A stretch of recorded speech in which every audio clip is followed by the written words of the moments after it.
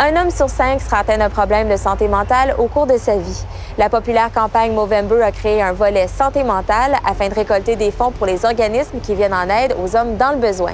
Ruby a visité l'un des centres de soutien qui profitera de cette nouvelle initiative. Quand le nom homme est dans le titre, c'est comme dire oui, ça c'est là pour vous. C'est ça. Venez.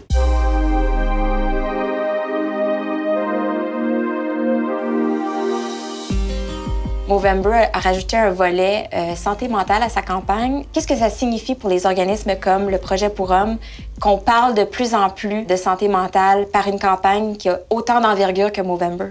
Anciennement, avant que Movember a commencé, c'est pas quelque chose. On parlait du cancer du sein, Ouais. mais le cancer du prostate, c'était. Oh, mon, on parlait pas de ça. Alors, on voudrait voir la même sorte de sensibilisation par rapport à les problèmes de santé mentale et de notre perspective des hommes qui ont vécu des abus en enfance, que ce soit comme le cancer du prostate, Ouais. pas un sujet tabou ou non existant, mais un sujet qui est dans la conscience communautaire.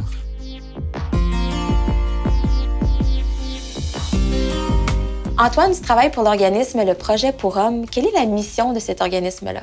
Le projet pour hommes a comme mission d'adresser les besoins en santé mentale des hommes et de leurs familles. Selon les statistiques, on dit qu'un homme sur quatre sera touché par un problème de santé mentale. Quels sont justement les principaux problèmes de santé mentale qui touchent les hommes? La déprime est très commune et c'est une des problématiques qui est très rarement euh, divulguée. Il y a également les problèmes de solitude, les problèmes sexuels. C'est pour ça que nous, on vient de développer un programme d'intégrité sexuelle.